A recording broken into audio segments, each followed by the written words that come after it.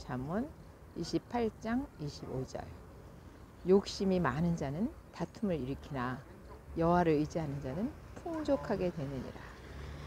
욕심이 많은 자는 다툼을 일으키나 여호와를 의지하는 자는 풍족하게 되느니라.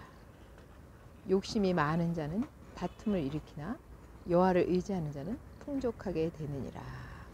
아멘. 우리 각자를 위한 자리가 다 있다고 하네요. 욕심 때문에 우리의 그 자리를 놓치지 마시고 명예롭지 못한 부끄러운 일이 생기지 않도록 우리 다 조심해야 될 것 같아요. 그죠? 다 알아서 풍족하게 넉넉하게 주시는 주님을 의지해 더 많이 더 많이 더 많이 누리는 우리들이 됐으면 참 행복하겠습니다. 나눠주고 사는 우리들의 귀한 삶이 되기를 소망해 봅니다, 여러분. 사랑해요.